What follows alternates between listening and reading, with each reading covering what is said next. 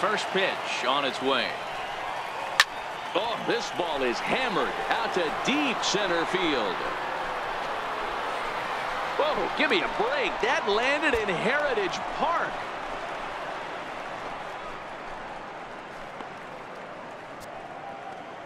It's a solo home run off the bat of Manny Machado. And even 40 home runs on the year for him now as it's now a six-run ball game.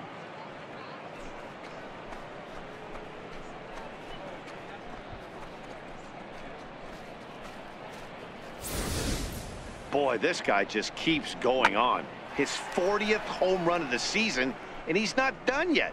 He keeps this up, he's definitely going to be in the conversation for some of the year-end awards.